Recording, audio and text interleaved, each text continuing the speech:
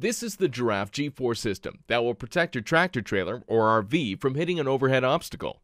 It's a two part system an exterior sensor, water and weatherproof, and an in cab programmable readout for the driver. It gets powered from your vehicle's 12 volt system. Developed by a truck driver for truck drivers, the Giraffe G4 is a terrific safety tool for tractor trailers, oversized load carriers, pilot cars, and tall RVs. Here's how it works the driver measures the tallest point of his trailer or oversized load. For an RV, it would probably be the AC unit or the TV antenna. Program that height into the in cab readout. Measure the height that the exterior sensor is mounted at. For mounting on an RV, there's a magnet mount. Now you're ready to go.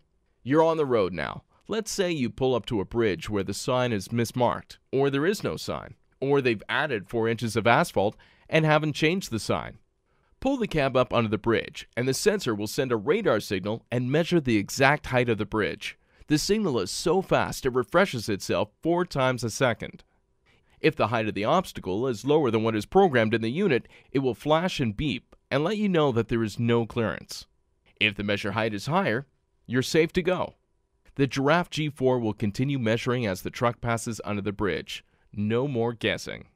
The Giraffe G4 will measure train trestles, gas station awnings, and tree limbs. Anything that will damage your vehicle. Lots of people ask, why can't the Giraffe G4 measure from a distance?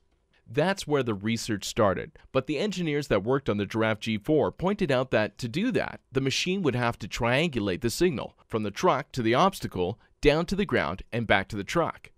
Even if the technology existed, it would be a million dollar machine, and could you trust it from a block away? The Giraffe G4 is built for the problem that trucks and tall RVs face every day. Pilot cars use it for survey work as they back up to their height pole. In any event you don't want to hit anything with your vehicle, if you stop before you hit it, the police are usually happy to hold up traffic and guide you out of there.